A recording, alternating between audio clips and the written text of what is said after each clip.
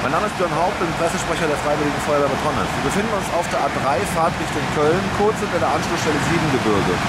Um Viertel nach fünf ging der Alarm ein, ähm, Unfall, Pkw, Lkw, eine Person eingeklemmt, mehrere Leichtverletzte. Ähm, der Rettungsdienst war erst eintreffend und hat bei dem ähm, Unfallfahrer äh, leider nur noch den Tod feststellen können.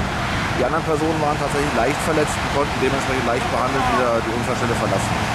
Der Unfallhergang war, dass ein Pkw auf ein Lkw aufgefahren ist, ähm, ist sehr weit unter den Hänger dabei runtergekommen, hat sich im Rahmen des Unfallbewegungen wieder gelöst, wurde von einem anderen Lkw noch getroffen und ist dann an der Leitplanke stehen geblieben.